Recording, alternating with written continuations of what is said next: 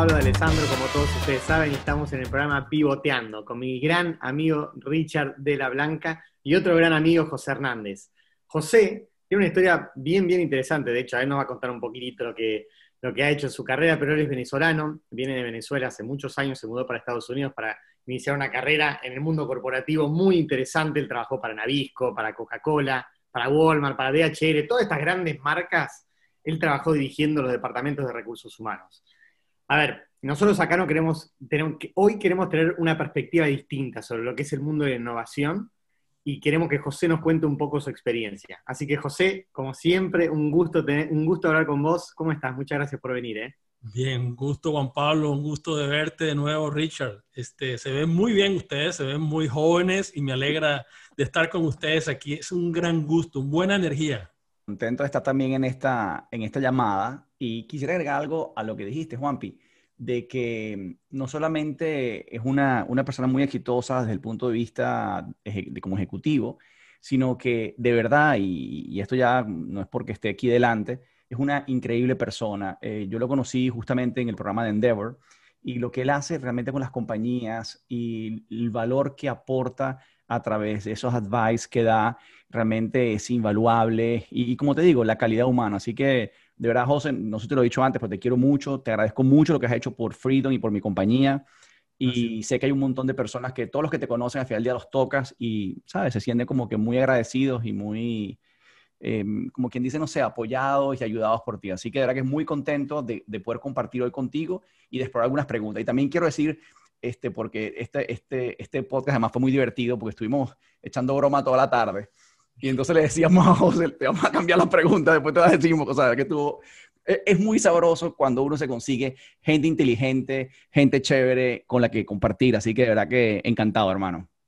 No, no, me siento cómodo y, la energía nuevamente es buenísima y me, me, me, hicieron un poco nervioso. Tuve que repasar todos los conceptos de la álgebra, álgebra de Baldor. ¿Se acuerdan de aquel libro? Pero bueno, aquí estamos con, con, dos grandes amigos, ¿no? Qué bueno, José, muchas gracias. Mira, acá lo que más nos gusta también es arrancar aprendiendo un poco de las personas que traemos a entrevistar, ¿no? Entonces sería lindo que nos cuentes un poco de, sobre tu carrera, ¿Qué, qué, qué, es lo que te ha llevado a fundar lo que es hoy H. Hernández? Que me encanta el nombre, by the way. ¿eh? Claro, claro. Fue creación de mi hija. Porque es Hernández el apellido y le quitó la E. Entonces, H. Hernández, ¿no? Fantástico. Sí, mira, em, yo comencé mi carrera muy joven como office boy en, en la antigua petrolera Lagoen. Entonces, hacía de office boy en el departamento de recursos humanos. Era casi creole todavía, la, lo que era Exxon, y yo hacía ahí toda la parte de papeleo en el piso de recursos humanos, o sea, llevaba los paquetes. Historia corta, allí me dieron una, una beca y me cambié y empecé a estudiar de noche economía en, Venezuela. Terminé y la, y la, la GOEM me becó para hacer un, posgrado aquí en Estados Unidos, o sea, súper agradecido. Em, de allí, digamos, regresé y empecé mi trabajo con Navisco. Eh, fue, un, fue, un, lindo trabajo porque Navisco todavía estaba en manos de accionistas venezolanos, de hecho los Capriles, ¿no? eran los dueños del 51% de la compañía, en las galletitas, que después las llevamos también a, a otros países. Y, digamos, fue, fue hacer todo el merge, toda la integración allí de, de, tres compañías que tenía, que tenían Navisco. Era Del Monte, que estaba en La Victoria, La Favorita, que estaba en, Barquisimeto y en Caracas, y este, bueno, la parte central que teníamos en Caracas. Entonces, una experiencia saliendo del MBA José, fíjate que, que, que, que, triste y por otro lado qué bonito, eh, qué triste que en Venezuela ya no se vea en esas oportunidades de que una persona que pueda empezar desde Office Boy llegue a tener un cargo gigante en una multinacional gigante, en varias multinacionales gigantes como es tu caso, ¿no? Pero qué triste también, o sea, que, que hoy no, no, suceda eso, pero qué lindo que en tu caso sucedió. Y te digo, como tu caso, he visto muchos en Latinoamérica, en Honduras, en Costa Rica, gente, mira, yo entrevisté a una persona en eh, El Salvador, no mentira, en Honduras, Honduras, la señora no tiene con qué comer, hermano. Hoy por hoy es diputada de un partido en Honduras, es doctora, tiene su consultorio. O sea, definitivamente eh, no hay nada, y yo sé que no es el tema de esta vez, pero este tipo de cosas te lo juro que no hay, no hay una excusa nunca en la vida para rendirse y para no lograr los sueños. O sea, tú puedes empezar en la posición que estés, pero si tienes ganas de aprender y de superarte, siempre lo vas a lograr. Te felicito. Gracias. Sí, de allí, bueno, este, hago, hago mi primer eh, movimiento internacional, me mandan aquí a Miami, de hecho, a llevar el área andina de Navisco. De ahí también ya a los dos años me mandan a Europa, llevo la parte regional, lo que llaman EMEA, Europa, Medio Oriente y África. Lindísimo, una asignación muy rica en, en Madrid. Eh, un año y después cuatro años en Barcelona, que les confieso, la conocí Barcelona después, cuando trabajé no la conocí. Mi esposa me, me regañaba mucho porque no vivía en un avión, pues. Me ah. tocó, trabajar mucho en África del Sur, que es un país espectacular, ¿no? Este, en todo lo que es, digamos, el, el journey de recursos humanos, contratando gente y, tal. Y siempre empieza a haber una constante en mi carrera de desafíos, como que siempre era, era un merge, o era un downsizing, o era un right sizing, o era, no sé si es cosa del destino, pero se me atravesaban eso. Se me atravesó en Venezuela, cuando integramos las compañías con los Capriles, Después ahora no, nos pasa en Europa recomprar todas las marcas de Navisco que habían sido vendidas. Em, de allí tomo una posición con Coca-Cola. Coca-Cola me invita a venir a Atlanta. Coca-Cola en ese momento que yo me entrevisto estaba yendo a través de lo que era el, el pleito racial más grande que había en la historia de los Estados Unidos. Fue un pleito de 170 millones de dólares que ganaron empleados de color por un error que se había cometido en una evaluación de desempeño con una empleada, una secretaria. Se filtró, bueno, la historia corta, un lawsuit de los más grandes que ha habido en Estados Unidos, el más grande hasta ahora de las multinacionales, y se nos implantó dentro un equipo de jueces, imagínense ustedes, por tres años. Yo fui parte de esa casta donde nos tocó reorganizar todo nuevamente, ¿no? Cambio, cambio y cambio, reorganizar el área de recursos humanos a nivel de Atlanta, este, me tocó responsabilidades internacionales. Luego que hicimos eso, salimos bien del examen, nos, dejaron los jueces tranquilos, pasamos todo y tomo una posición en Río. Entonces yo quería volver al campo, este, entonces tuve la suerte de irme a trabajar con quien es hoy el CEO de la compañía, Brian Smith. Brian me invita, me dice, José, vente a, vente a Río, que estamos aquí con un problema grandísimo con los embotelladores, no hay confianza, se ha quebrado todo. Brasil, para que ustedes sepan, es el, país de Coca-Cola que tiene más embotelladores en el mundo. Tiene 27 embotelladores, son familias independientes. Entonces, todo el tema de influencia y es muy complicado. Entonces, formo parte de un equipo estrella porque, bueno, todos salieron a ser ahora presidentes. Enrique Brown, que lo contratamos joven, por ejemplo, es el presidente de América Latina. Fredo Rivera, que lo contratamos, es el presidente de Estados Unidos hoy de Coca-Cola. Es el CEO. Um, James Quincy es el CEO de la compañía, que fue una de las personas con las que me formé yo en Atlanta, de algo que le voy a contar más adelante una experiencia espectacular. Este, mi hija se viene a los Estados Unidos a estudiar en, en, Penn y nosotros decidimos, mira, siempre muy pegados con la familia, nos venimos rápidamente a, Estados Unidos sin trabajo, te confieso. ¿no? Le dije a Brian, me vengo, voy a buscar. Y tuve la suerte que me conseguí con mi activo jefe, que es un ecuatoriano, Eduardo Castro, que había sido el, presidente de Navisco Venezuela. Eduardo ahora estaba como CEO de Walmart US en Estados Unidos. Me dice, José, tenemos aquí un tremendo lío armado porque yo quiero descentralizar la compañía fuera de Bentonville y estoy creando cuatro megadivisiones en los Estados Unidos. vamos, vamos a darle, pues. Entonces, mi mente para Atlanta, tú te vas a encargar ahí de todo el Saudi de Estados Unidos, tú casi 3.000 tiendas y necesitamos traer nuevos gerentes generales, cambiar el mindset. Esto es una organización que tiene que focalizarse en las personas. En la época que había mucha también eh, mala información de Walmart sobre el tema de los salarios, el trato a la gente y tal. Y bueno, le dimos eso. Yo sabía que yo no me iba a quedar en Estados Unidos. Le dije a Eduardo, bueno, cuando termine esto, a los 16 meses, yo me quiero ir a, a internacional de nuevo. Abrimos la oficina de Walmart en Miami. Entonces, como que llego a Miami nuevamente. Básicamente aquí fue un trabajo de mergers and acquisition, de compra de compañías. Compramos Bodegas Urrera en México, la compañía más grande que tiene Walmart en el mundo la bodega Herrera a bastos pequeños, compramos la compañía en Chile de IS, yo fui parte de ambos, de ambos directorios, compramos los negocios de los países en Centroamérica también, y fui parte también del directorio ahí con ellos, acompañando. Mucho cambio, mucha culturalización, traer equipos nuevos, traer los programas, entonces siempre, siempre sembrando, sembrando, cultura, ¿no? De ahí, este, cerramos la oficina de, de Walmart Latinoamérica, se va a México, y yo no me voy a México, me quedé aquí otra vez, como seis meses medio en el aire. Ahí fue cuando creé mi, mi, mi, compañía, la, la, entidad legal, Noche Hernández. Pero ya estaba coqueteando con esa idea, mire, ya quiero salir del mundo corporativo, pero apareció DHL. Quería sí, absolutamente. Estaba, estaba, con esa cosquillita en, en la barriga, ¿verdad? ahí se aparece DHL, hablamos por seis meses, oye, necesitamos el jefe de HL para las Américas. Ya sería, ya sería, mi posición como de más responsabilidad, llevar todo Estados Unidos, llevar Canadá, llevar Latinoamérica. Y bueno, me, enganché con DHL, cuatro años muy felices allí, una trayectoria también de mucho cambio, de mucha transformación, de mucha innovación, que después podemos hablar un poco de ello. Y ya, digamos, cuando hubo un cambio gerencial, mi jefe se jubila, yo digo también, yo me voy a retirar, me retiro y, y bueno, en ese momento ya sí le doy firme a El Hernández, ¿no? Claro. Digo que estos, estos años en estas cuatro compañías a mí me dieron, mira, mucha curiosidad, siempre he estado involucrado en cambios, yo creo que para mí siempre fue una bendición estar viendo las cosas desde una panorámica muy sistémica, todo lo que uno llama hoy, I mean, design thinking, ya para mí eso era una inquietud muy grande en esa época.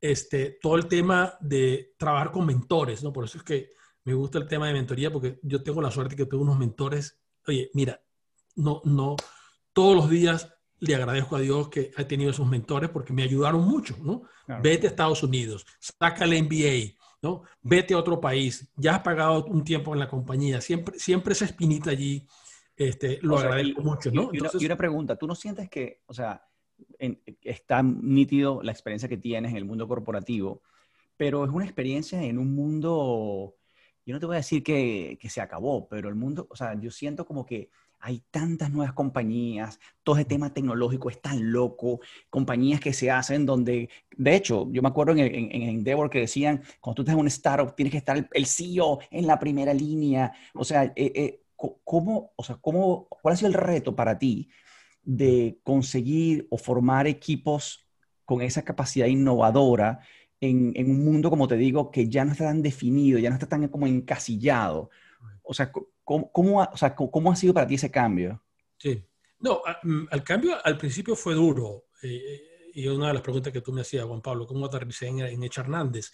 Sí, sí, yo te digo, mira, hace cuatro años y medio me invita Marco Ghiberti, que ustedes lo conocen, a una reunión de Emerge, ¿no? Y, chicos, yo llego allá y es como, le digo honestamente, como que hubiese puyado el botón refresh de la computadora, F9, porque es lo que yo digo, vi que había otro mundo afuera. Que uno, honestamente, o sea, 25 años en el mundo corporativo, uno no lo ve, porque uno vive en un avión, uno vive en un PowerPoint, uno vive resolviendo, pagando incendios, haciendo cosas muy buenas, ¿no? Pero el cambio fue, o sea, como que caes en vacío, ¡pum!, ¿no? Pero sí, yo creo que una de las cosas que yo, a mí me inspiró mucho para crear la compañía, ha, sido esta noción que siempre la he tenido de lo que ha hecho la gente por mí, pero a su vez ya tener la oportunidad con todo lo que he aprendido de que uno pueda trabajar mejor, ¿no? Un poco, si, si uno, si uno ve mi compañía, ese, ese es mi lema, ¿no? Make work better, hacer el trabajo cada vez mejor. ¿Y qué significa eso? O sea, tener los sistemas más ágiles y más flexibles de recursos humanos, tener los ambientes organizacionales más productivos, más sanos que te puedas tener, tener, digamos, la, la alegría, tener la felicidad en el trabajo, todos esos temas que yo los fui como acumulando, yo cuando vi la oportunidad que, que me presentó Marco y otros en el, en el ambiente, después conocí a, a Laura, ¿no? Y digo, aquí hay un campo, y creo que lo hay todavía, Juan Pablo, ¿no? Fértil por, digamos, como para acelerar todo lo que yo había hecho, pero hacerlo de una manera mucho más fácil, más rápida, y, y eso es lo que, lo que hemos hecho ya. Cuando yo vengo a trabajar con, con una compañía como Ticini o ayudarlos o, o trabajamos con Novo Payment, un poco, ya cuando yo veo la foto del problema, ya uno sabe más o menos por dónde viene la solución, uno hace un brinco, ¿no? Dice, no voy a repetir los mismos pasos burocráticos y va directamente a hacer, a hacer una solución mucho más rápida. Ahí es como que donde yo encuentro más la facilidad de apalancar lo yo he aprendido, por aplicarlo a un ambiente que es mucho más, más rápido. O sea, mis primeras impresiones de trabajar con CEOs, empecé a trabajar con Roger, ¿no? Con Sam, era la velocidad que tenían. O sea, yo tenía que reclutar una persona antes en, en, en DHL y, bueno, tenía que pasar seis niveles, tenía que ir a Alemania con la persona, mandar el salario. Ahí, bueno, nos gustaba la persona, vamos adelante. Entonces, ese tipo de cosas a veces uno se equivoca, ¿no? Pero como dicen ustedes, I mean, fail fast, right? ¿No? Entonces, ahí, ahí es otro tipo de vibra que yo la estaba buscando hace muchos años. Entonces, vas aplicando eso este, yo creo que, que, también el desafío ha sido, por otro lado, uh, Richard, el tema de la estructura, que yo creo que a veces le hace mucha falta al, mundo de los emprendedores. ¿no? Yo no creo que debe exagerarse, pero sí hay cosas que hay que tener más disciplina, hay cosas que tener más claridad en, en temas de las metas, de los resultados y medirlo bien. Y creo que eso son beneficios que te trae la experiencia de un mundo corporativo. Mira, José, me parece súper relevante esto que me está mencionando. A ver, cuando, cuando estás en estas compañías tan grandes, me imagino que estas compañías buscan gente innovadora, gente que piense distinto, ¿no? Para, para poder conseguir esa innovación dentro de estas estructuras que son en muchos casos medio arcaicas, ¿no? ¿Qué, es lo que, ¿Qué es lo que buscan? O sea, ¿cómo se desarrolla un equipo innovador? ¿Qué lo, ¿Cuáles son las características de un equipo innovador? Sí, sí si tú me permites, porque, porque creo que es una pregunta muy buena, antes de responderte eso, a mí me gustaría elaborarte un poco cuál, es, digamos, eh, el, el, hervidero donde ocurre todo esto, ¿no? ¿Cómo es el ambiente? Entonces, ahí, ahí te mandé, eh, Ricardo, una, una pequeña, que lo puedo explicar en un minuto, básicamente, que para mí es lo que yo considero que caracteriza, o son las características de una empresa que realmente fomenta y cree en innovación. Entonces, esto, esto es un... Esto es un esquema que se llama el, el, el iceberg, el modelo del iceberg. Este, si lo puedes poner ahí, Ricardo. Sí, está puesto. Ok. lo, que lo que esto simplemente explica es que uno, uno a veces tiene la, la, percepción de que cuando tienes un problema, o sea, tú miras solamente la puntita del iceberg.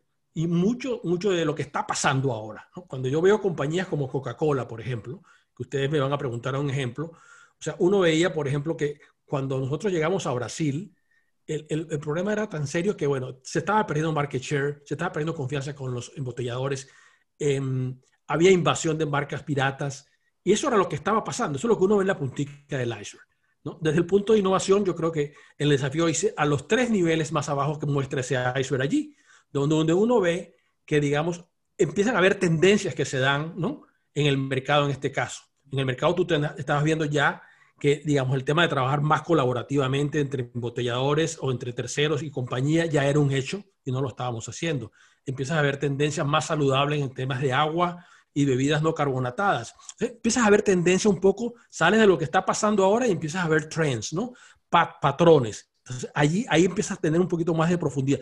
Después de eso, tú empiezas a ver, bueno, ¿Cómo, ¿Cómo está pasando esto? ¿Cómo está estructurado esto? Oye, en el caso de Brasil, nuevamente usando ese ejemplo, tienes una estructura de embotelladores, tienes una estructura de, compañía, no, se comunican, los roles y, responsabilidades a, lo mejor están mixtos. Eh, el tema del poder entre una estructura y otra, entonces analizas bien la estructura, pero finalmente te vas abajo del iceberg, que es la parte allí de los modelos mentales, ¿no? Modelos mentales que vienen de 100 años de historia. O sea, Coca-Cola se fundó con una noción de que la compañía Coca-Cola de Atlanta es la que tiene el poder y que los embotelladores, por decirlo como se decía despectivamente, son los que operan y nosotros somos los que pensamos. Hay un caso en la Harvard Business que se sacó del caso Brasil, donde, donde estamos nosotros precisamente con este caso de innovación que se pone. Entonces tú ves los tres niveles que uno hace un poco irse ¿no? de lo que está uno un poco más visible hasta lo que se crean estas cuatro condiciones que tú empiezas entonces a apalancar desde abajo hacia arriba y creas este mindset, en pocas palabras, creas esta cultura de salirte de lo superficial, ¿no? Ver las tendencias, aclarar la estructura y atacar los modelos mentales que tienes. José, disculpa que te interrumpa. Eh, o sea, me gusta, o sea, obviamente lo que estás diciendo y se nota de sobra el nivel de expertise que tienes en el tema, pero yo quiero que nos ayudes a entender un poco porque muchas de las personas o el grueso de las personas que están viendo estos programas son eh, startups, son personas que están creando cosas en el mundo digital.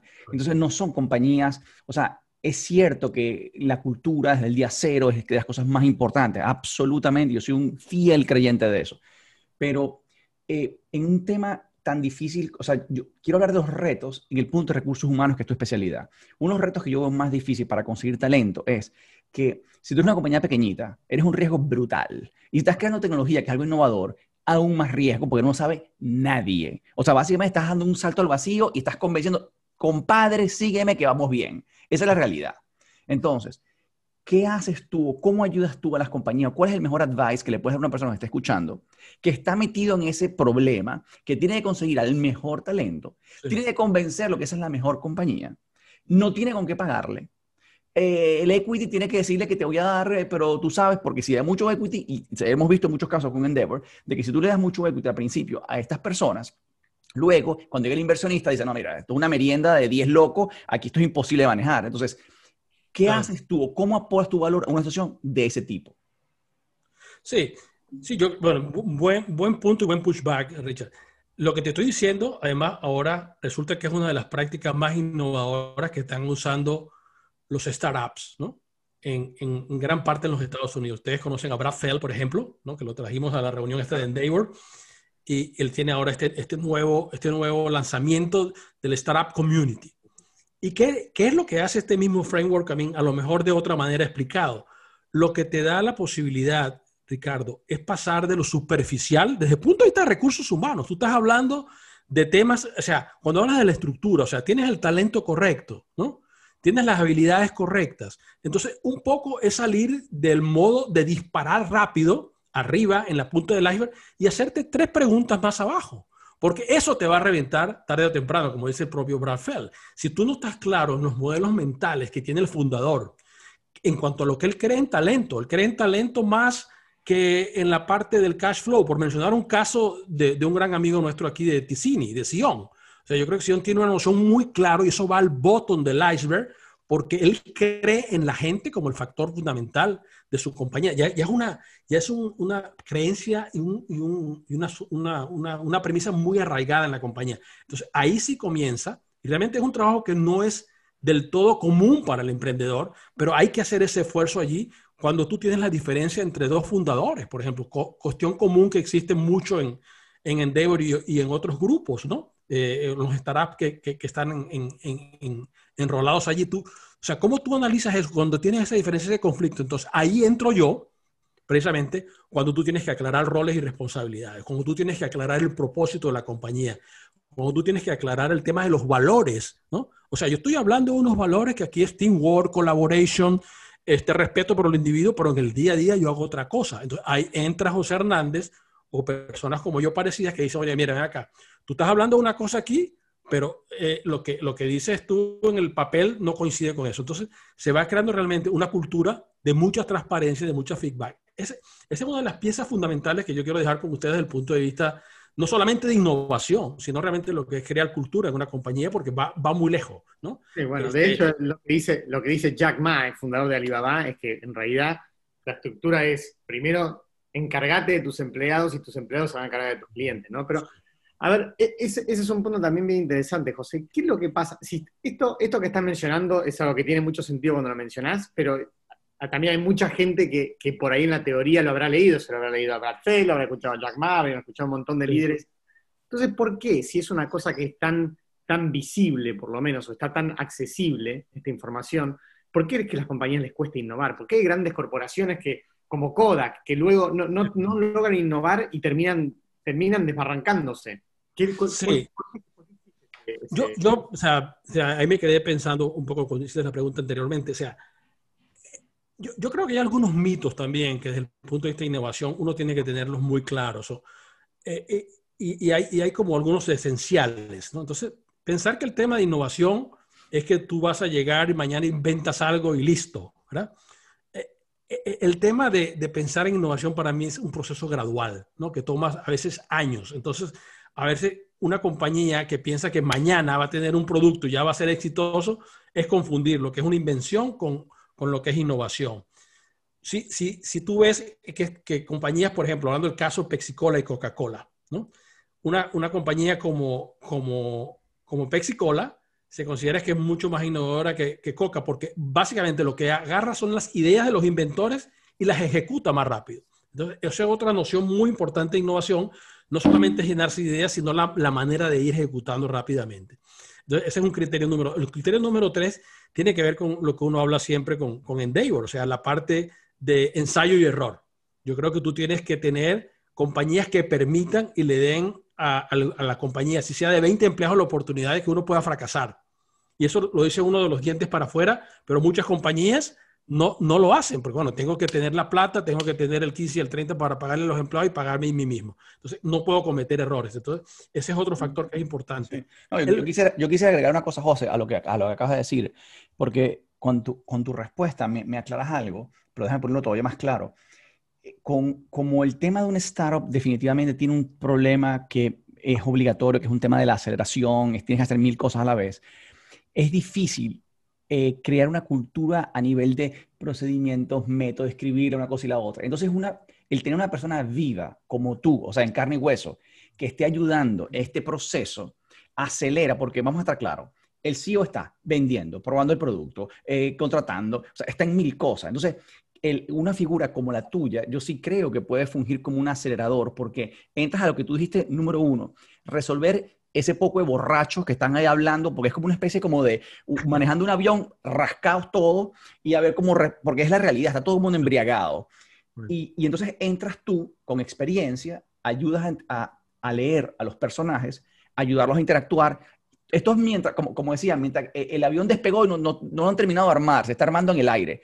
Entonces, el, el pretender que ellos además de esas prioridades se pongan a trabajar en temas de comunicación, de cultura, es difícil. En cambio, una figura como tú sí creo que puede ayudar mucho porque es como tener e, ese libro vivo ahí. O sea, se está escribiendo en, el camino, pero además hay una persona que está como liderizando ese proceso, ayudando a que se entienda el número uno, que de verdad es como si fuera un buen ejemplo, como todos unos borrachos tratando de manejar un carro. Y por otro lado, y tienes una experiencia, o sea, sabes cómo, que, cómo mejorar comunicación y sobre todo tratar de tomar de todos ellos, hacerlos ver, porque en realidad la cultura tiene que hacer ellos, no eres tú, pero hacerlos ver de ellos esos valores que comparten, cuáles pueden ser los más importantes para además el proyecto que están haciendo y en función de eso, articularlos y ayudarlos a crecer. O sea, yo en ese sentido sí creo que hay, un, hay una parte muy fuerte de, de personas como tú con esa expertise, porque de verdad que, de verdad que no hay tanto tiempo o sea, no es que no hay, o sea, y créeme, te juro, yo soy de las personas que más creen eso. tengo dos clientes grandísimos y casi que al final del día, sin darme cuenta, termino haciendo un montón de cosas de comunicación, de cultura, porque es algo en lo que creo totalmente. No hay nada más poderoso que cuando la gente mata por la compañía, que adora la compañía. Es una energía tan grande. Pues es como un efecto network. En vez de que sea uno solamente que empuja, que es el cabeza, cuando tú pones a toda esa estructura excitada, energizada, empujando al mismo sitio, olvídate lo que pueden lograr yo estoy de acuerdo. Y para terminar ahí, Juan Pablo, responderte entonces, ¿por qué no avanza? ¿Por qué no se crea esto? Yo creo que estoy, mencionando estos diferentes factores, ¿verdad? Que, que, tienen, que tienen, digamos, como, como la salsa secreta las compañías que innovan. Entonces, el, CEO en este caso, para mí juega un papel muy, muy, importante de crear esas condiciones, de fomentar ese ambiente donde tú tienes un ambiente de trabajo que, por una parte, la gente tiene la capacidad y la, y la osadía de hablar lo que piensa, ¿no? O sea, las mejores ideas son a veces eh, estas ideas locas que la gente dice. Entonces, lo que uno habla hoy tiene que crear un ambiente de seguridad psicológica en el trabajo, lo que uno llama psychological safety at work. ¿Por qué? Porque uno ve que la parte del miedo es uno de los cánceres peores que yo te lo puedo decir, que lo he visto en organizaciones corporativas, lo he visto en startup, cuando la gente pierde la confianza y no dice lo que piensa, ese es el aniquilador número uno de la innovación. Y, no lo digas en el día a día. Habla con, habla con, un departamento de customer service, háblate con un restaurante. Si, si una persona que está ahí en la cocina se siente de que él puede tomar una decisión y preparar el plato inmediatamente y rápido, de una manera, pero si él ve que le van a dar un golpe por la cabeza, ¿tú crees que esa persona... Mira, déjame, déjame que te hacerlo? Te tengo que decir esto porque de verdad que, mira, es tan cierto lo que estás diciendo. Yo estoy trabajando ahora para una compañía que se llama Moss Construction, ¿sabes? Moss, esta constructora gigante.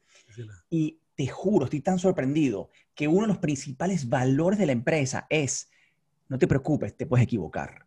Lo que quiero es que hagas tu máximo potencial. Pero ellos realmente, parte de la cultura es, sabemos que te vas a equivocar y no pasa nada. Pasa que no te equivoques por no innovar o por no sacar tu máximo potencial. Eso es espectacular. Y estamos hablando de una constructora, porque no estamos hablando que hacen helados. O sea, equivocarte en una constructora no, es tan sencillo como que hice una camisa y salió torcida aplica a todos los niveles. Este es un concepto que no es nada nuevo, por cierto. Esto, esto lo, lo, ahora lo puso como de moda la profesora esta Amy Edmondson de Harvard. Ella viene trabajando hace 30 años en hospitales y el experimento fue muy rápido, pues, para explicárselo. Enfermeras y doctores. ¿A quién se le morían más los, pacientes? A unos tipos de doctores y a unos tipos de, de, doctores. Aquellos que en donde el equipo médico tenía la capacidad de push back al jefe médico, se le morían menos los pacientes lo han traído hoy a departamentos de Customer Service. Lo, hemos traído ahorita a Ticini, por ejemplo, en el tema de los call centers, donde tú le das el empowerment y la gente puede decir lo que piensa. Esa es una condición sine qua non que tienen que tener las organizaciones innovadoras. La psicología en el trabajo segura, no fears. Me encantó, José. Te digo, mira, me dejaste con una frase marcada para cerrar la conversación que me pareció espectacular, que es cuando una persona, cuando el equipo no se anima a decir lo que piensa, se aniquila la innovación. Así, que me dejas con eso, me encantó. José, gracias por tu tiempo, gracias por contarnos tu historia. Y nada. Un placer, un placer. Y tenemos temas para hablar ahí si quieren en otra oportunidad, pero es un tema que tengo mucha pasión. Este, yo, yo también quiero cerrar con, con un dicho que aquí lo, lo, lo cubrí de mis tiempos en, en, en Coca-Cola, así, así se lo voy a decir. La innovación es la hija de la libertad y es la madre de la prosperidad. Qué belleza. Sí. Muy bien. Gracias, José, te queremos. Un abrazo grande. Un abrazo grande.